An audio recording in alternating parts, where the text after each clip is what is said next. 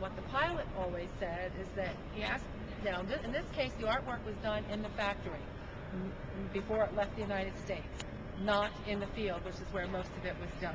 First crew picked up this aircraft and ferried it themselves, and an artist had already been acquired to paint it.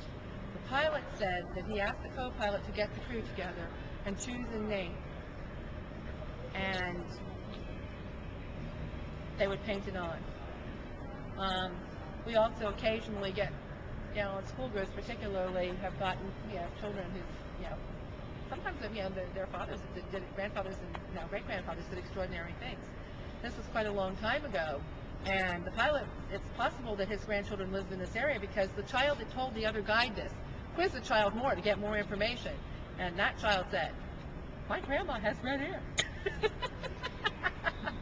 but the truth is, is nobody knows for sure where the name came from. Okay, except that's what it's called. Now, there was something about her that's historically inaccurate because throughout most of World War II, that lady was not wearing that blue bathing suit. She was a much naughtier lady.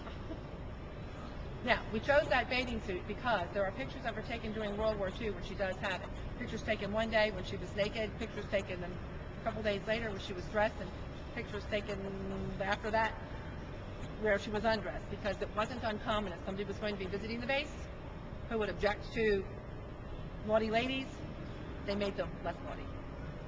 Now, this aircraft had a crew of six, I believe. I think so. How how about the B-17? Is it B-17 is a crew of 10. crew of 10? And Okay. I wouldn't, let's, let's see, because this should be civil. Yeah.